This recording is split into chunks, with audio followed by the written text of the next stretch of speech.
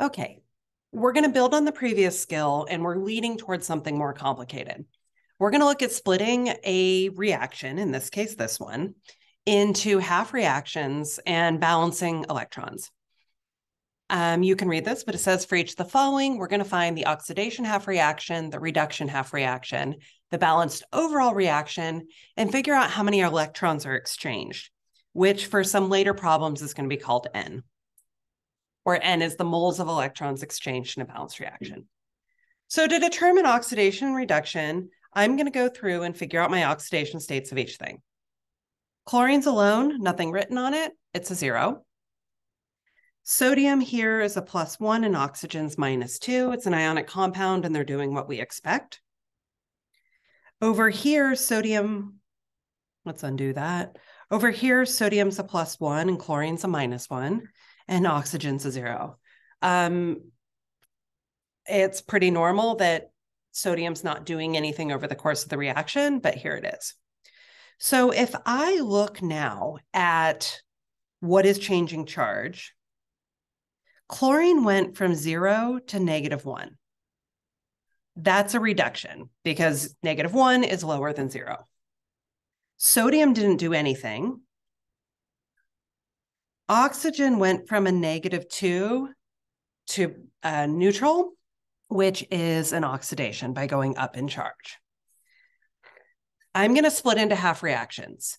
My re the first one it asked me for is my oxidation half reaction. My oxidation half reaction is O minus 2 becomes O2.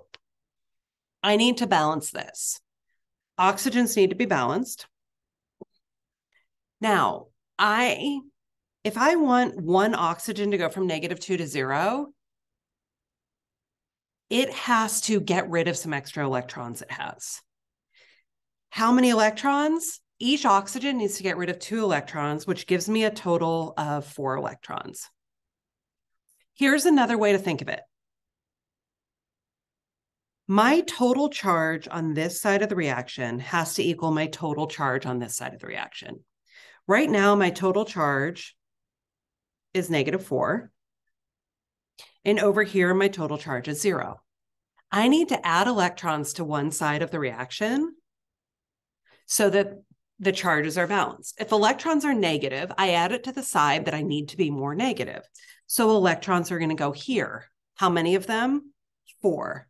Now my total negative charge on the right is also negative four.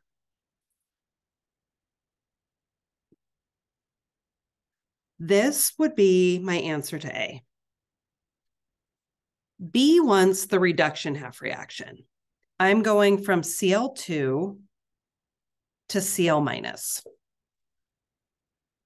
I want to balance chlorines first. And now I need to balance my total charges. The total charge on this side before adding electrons is zero. The total charge on this side is negative two. So I need to add electrons to this side. How many of them? Two. That's my reduction half reaction. For C, what I want to do is I want to put these two back together in such a way that the electrons cancel. Right now, because the electrons that are produced by this reaction are consumed by that reaction. Right now, one reaction is producing four electrons and the other one's only using two. And what I want to do is I want to figure out what do I need to multiply each reaction by so that the number of electrons will cancel. If I multiply this whole reaction by two,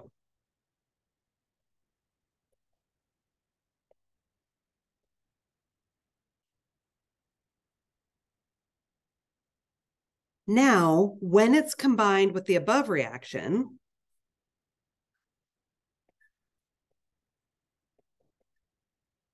into an overall reaction, the electrons are going to cancel. So now writing my overall reaction, I have 2Cl2 plus 2O minus 2 forms 4Cl minus and O2. This would be my balanced overall reaction after I've gotten rid of the sodium that does nothing. For D, how many moles of electrons were transferred in the balanced reaction? It's whatever the least common denominator is between this number and that number. How many electrons canceled out? Four. I have a couple for you to try. It looks like um, my screen froze as I was writing n equals four.